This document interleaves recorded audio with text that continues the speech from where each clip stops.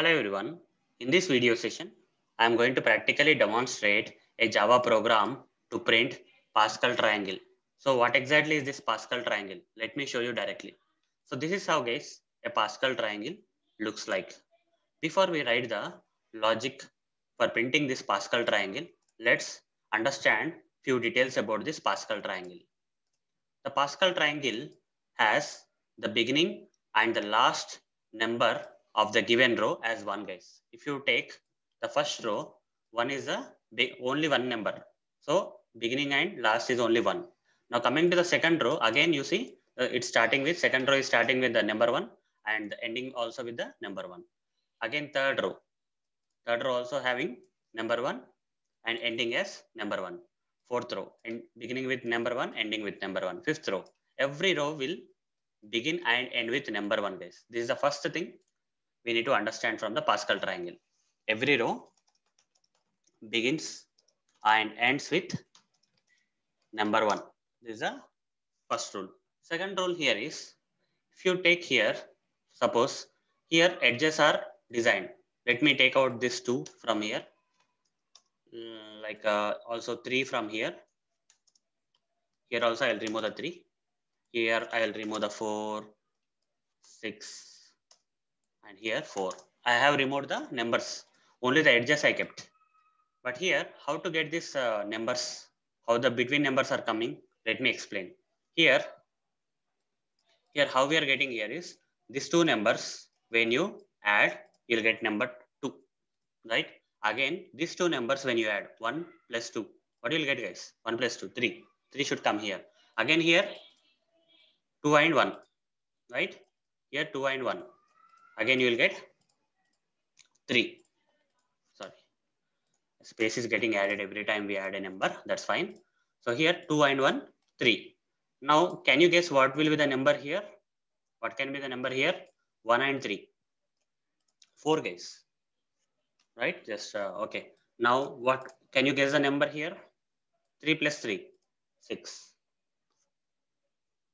Next, here, can you guess the number here? 3 plus 1. So 4. Like this, guys. The Pascal triangle will be like this. Hope you understood. These numbers are addition of these numbers. 1, 2, 3. 2, 1, 3. 1, 3. 1 plus 3 is 4. 3 plus 3 is 6. 3 plus 1 is 4. Now, how to print this kind of triangle, guys? Okay. So, for that, uh, we need to find few more details, guys. Now, at, uh, at this level, you understood what exactly the Pascal triangle is edges will be one and the in between numbers will be the addition of the previous numbers, right? That's fine. So far, so good. Now, in order to print this Pascal triangle, we need to find few details. First details is how many rows. How many rows are there in this given triangle? Pascal triangle? One, two, three, four, five. Total five rows. What about spaces, guys? Spaces before the numbers. Here, how many spaces are there in the first row before the number got printed here? One, two, three, four, four spaces. What about second row? Second row has one, two, three, three spaces. Third row. Third row has one and two spaces. Fourth row. Fourth row has one space. What about fifth row? Fifth row doesn't have any space, so zero. That's it. Okay. First thing, number of rows. Second thing, number of spaces before before the number is printed. Third thing is, third thing here is any other third thing we have apart from this? Yes, there is one more thing. That is how many numbers are there in each and every row. In the first row, how many numbers are there? Only one number is there. Second row, how many numbers are there? Second row, there are these two numbers. Third row, three numbers. So the number of numbers in this row is equal to the number of the row, right? The number of the row is four, how many numbers will be there in that row? Four like that. If the number of the number uh, number of the row is five, how many numbers will be there in that row? Five row, five numbers like that. So total rows is five, space is like four, three, two, one, zero, and uh, the number of numbers in each and every row is one, two, three, four, five, like that. And also one more small thing is like you see there are some spaces, guys. Okay, between each number there is a space. The spaces, fine, no problem. So this will be enough guys. This requirements will be enough for getting us started with the program. So let's start writing the logic. Uh, first thing we need to consider is the rows guys. depending on the number of rows, we have to create a for loop here. Number of rows is equal to 5. So this for loop should iterate how many times? 5 times. Int i is equal to 0, i less than 5, i plus plus. This for loop will iterate how many times? 5 times guys. 0, 1, 2, 3, 4. 5 times it will iterate. Now inside this for loop, we need to create inner for loop for printing the spaces. For, as part of printing the spaces, we need to create this for loop guys. For int j is equal to 0, j less than, otherwise we'll say int j is equal to 1, j less than 5 minus i, then j plus plus. Let's see how many spaces will be printed according to the rows. Here we need to print four spaces in the first row, three spaces second row, two space in the third row, one space in fourth row and zero space. Let's see whether that is happening or not. When the index is zero, that means first row.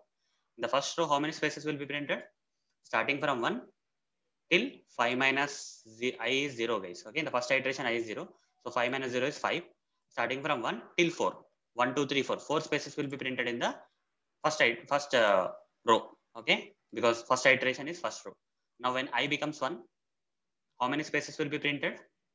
5 minus 1 is 4. j less than 4 means starting from 1 till 3 only. Less than 4 means till 3, right? 3 spaces will be printed. Is it going correctly? Yes, 4, 3.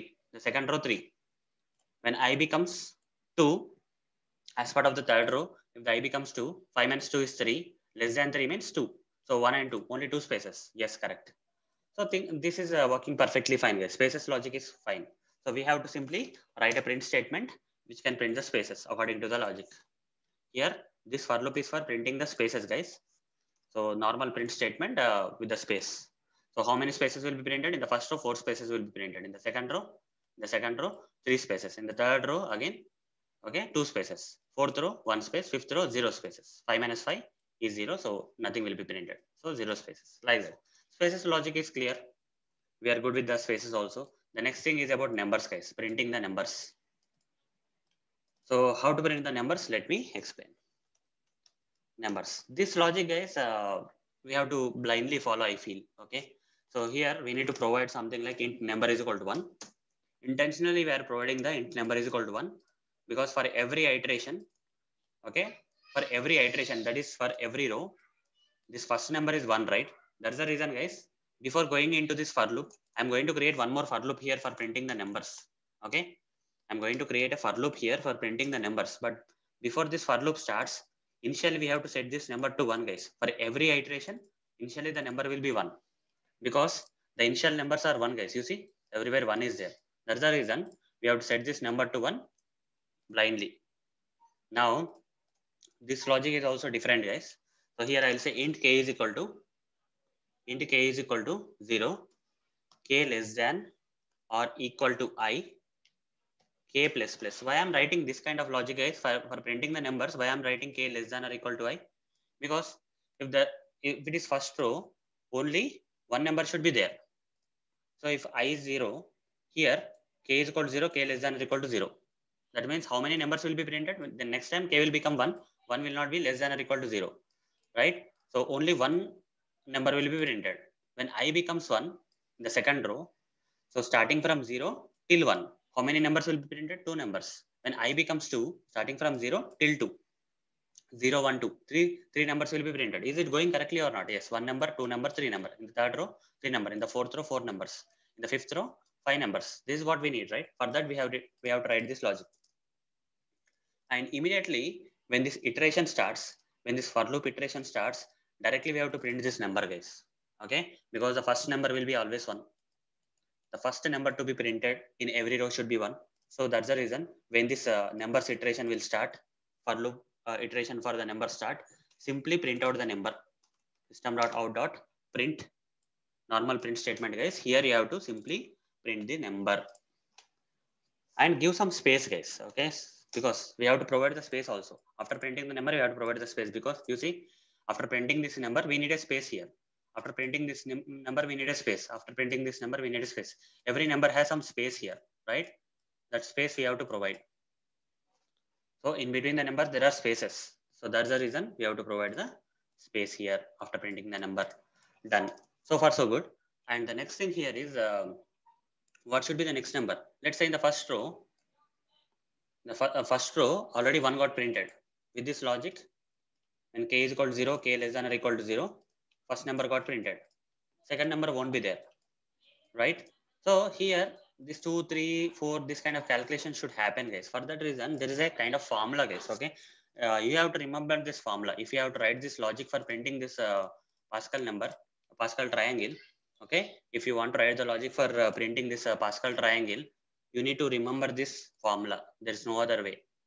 The formula is not, nothing but number is equal to number into number is equal to number into here we have to write the logic formula.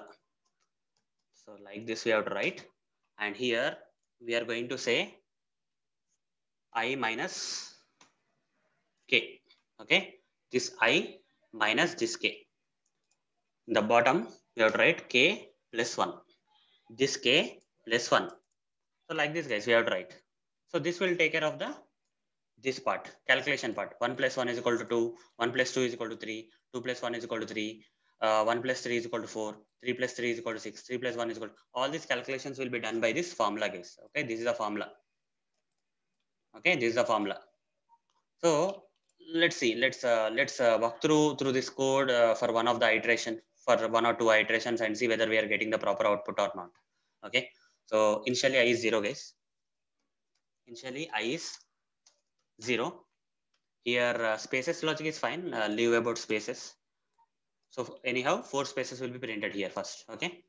Because of the spaces logic, uh, 5 minus i, that is uh, 5 minus 0. So starting from 1 till 4, four spaces will be printed. So here already four spaces got printed, let's say. After that, after printing four spaces using this for loop, we'll come to this. Here number will be assigned as 1, right? Number will be set to 1. Now this for loop will start k is equal to 0, k less than or equal to i means i is 0 guys. 0 is less than or equal to i is true. So we'll go inside the for loop and here immediately number got printed. The number 1 will be printed. Number 1 followed by a space will be printed. After number 1 there will be a space. Okay, fine. After number 1 there will be a, the space will be printed. That's fine. So after that the number is equal to number into i minus k divided by k plus 1. Let's uh, find out the logic. Here i is 0 guys k is also 0. 0 minus 0 is 0. Okay, and uh, k plus 1 is 1. 0 divided by 1. Something uh, you simply get the number as 0 guys. Okay, but in this for loop only one iteration will be done. So number will be 0 but it will not be printed anywhere. This 0 will not be printed anywhere because the for loop is going to stop when k plus plus will happen k will become 1 1 less than or equal to 0 will false and this number will not be printed guys. Whatever the calculation happened uh, as a result of 0 right? That 0 will not be printed anywhere because in this uh, for loop uh, when i is equal to 0 in the first row only one number will be printed. After that there is no number. So here after uh, printing the space and uh, the first number in the first row we have to move to the new row right? We have to after printing this one and uh, space and if there are no other number left for printing here we have to move to the new line. For moving to the new line we have to write this println statement so this will take you to the new line. And after this i plus plus will happen. I will become 1 okay? And here 5 minus 1 5 minus 1 is 4 starting from 1 less than 4 means 1 2 3 three spaces will be printed guys. In the second row how many spaces? 1 2 3 spaces will be printed. After printing three spaces here again number will be set to 1 guys. Number will be again set to 1 and here the for loop iteration will start with 0 0 less than or equal to current value of i is 1 so the condition will match. 0 less than or equal to 1 will match. You go inside the for loop. Immediately number will be printed. The first number will be 1 guys again. 1 will be printed along with a space. Okay? 1 followed by the space will be printed. After that this calculation will happen. That is equal to number is equal to number into. Current number is 1 right? 1 into 1 into i minus k. I minus k means 0 minus okay? 1 in, uh, sorry uh, 1 uh, i is 1 right? I is 1 so number is equal to 1 i is 1 so 1 into 1 minus k is 0 in the first iteration k is 0 so 1 minus 0 is 1 1 into 1 into here 1 divided by k plus 1 k plus 1 means 0 plus 1 1 divided by 1 that is 1 1 into 1 is 1 so number will become 1 guys. The result of this calculation is 1 and uh, the second iteration will happen where k plus plus k will become 1 1 less than or equal to 1 true again. So here since the number calculation came as 1 1 will be printed with a space so after this again 1 will be printed with a space like this okay Then again, we will move to the new row. Here println statement will be executed and we'll move to the new row. Here we will come. After that, here I will become 2. So 5 minus 2 is 5 minus 2 is 3 guys. 1 starting from 1 less than 3 means 2 spaces will be printed only 2 spaces 1 and 2 spaces. After that number will be set to 1 uh, and uh, the for loop will start in the first iteration when 0 is less than or equal to current value of i is 2 so condition is true and uh, immediately number will be printed. That is 1 will be printed. After 1 got printed along with space then uh, this calculation will happen guys. Number is equal to number into kind of here number is 1 again right? 1 into here i is 2 2 minus k is 0 the first uh, the first iteration k is 0 right? So it will be 2 minus 0 here k plus 1 means 1 2 2 minus 0 is 2 and uh, this is 1 2 divided by 1 is 2 right? 2 so number into 2 means the number will come as 2 result will be 2 2 guys. So here k plus plus will happen now. K will become from 0 to 1 so 1 less than or equal to true. 1 less than or equal to 2 is true. And here number the result we got as 2 right? The 2 will be printed here. You see after 1 space then 2 will be printed then space. Then the third the third iteration before going to the third iteration the current number is 2 right? So here number is equal to number into here current number is 2 2 into i minus k. i is 2 2 minus k is 1 this iteration k is to 1 2 minus 1 is 1 2 into 1 divided by 2 1 divided by 2 means half 2 into half means 1 so number will be 1 again so in the third iteration, k will become k will become 2. 2 less than or equal to 2 is true. So number will be printed as 1. So again, 1 got printed. You see, this is perfectly working fine, guys. So like that, guys, this formula will be perfectly working. Okay, it will be calculating the Pascal triangle numbers perfectly. So all these 2, 3, 3, 4, 6, 4, everything will be printed perfectly, guys. Okay. Now let's run this code to see whether we are getting the output as this uh, Pascal triangle or not okay? We should get when i run this code we should get the output as a pascal triangle. Whatever the pascal triangle i showed here that's exact pascal triangle having five rows should be printed now. So run this. You see the pascal triangle exact pascal triangle got printed. One one all the edges are ones. And here uh, as you can see here 1 plus 1 is equal to 1 plus 2 is equal to 3 2 plus 1 is equal to 3 3 plus 1 is equal to 4 3 plus 3 is equal to 6 3 plus 1 is equal to 4 so calculation is perfectly happening guys. This is a perfect output we got. So hope guys understood how to write the java program to print a pascal triangle. So that's it guys. Thank you. Bye